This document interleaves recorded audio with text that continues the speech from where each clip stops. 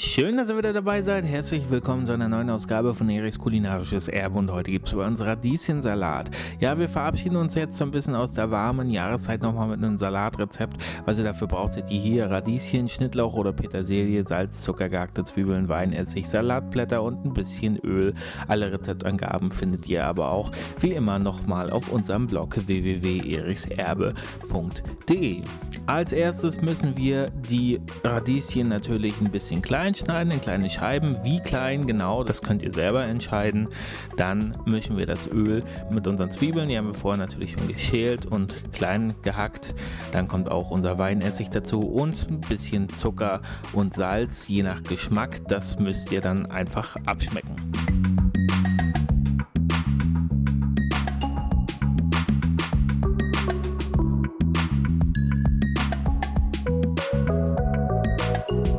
Ganze verrühren wir und geben es dann zu den Radieschen und heben das so ein bisschen unter.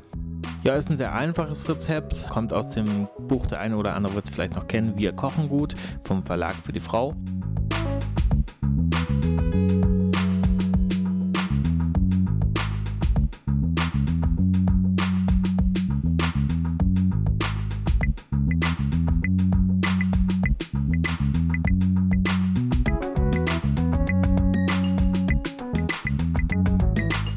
Und dann könnt ihr das noch ein bisschen schön anrichten mit einem Salatblatt zum Beispiel haben wir hier gemacht und gebt einfach den Radieschensalat oben drauf. Ich würde auch empfehlen, dass ihr ihn noch mal ein bisschen durchziehen lasst, bevor ihr ihn serviert.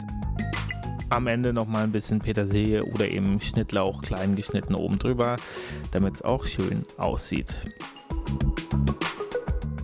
Das war's schon wieder von uns. Vielen Dank fürs Zuschauen. Wenn es euch gefallen hat, zeigt es uns doch gerne mit einem Daumen nach oben. Ansonsten habt ihr hier wieder wie immer zwei Rezeptvorschläge. Alle Rezeptangaben dazu findet ihr wie auch zu diesem auf unserem Blog www.erichserbe.de. Da könnt ihr allgemein mal wieder vorbeischauen, denn es hat sich einiges getan für die, die es noch nie gemacht haben. Schaut mal vorbei, ich würde mich freuen. Bis zum nächsten Mal. Ciao.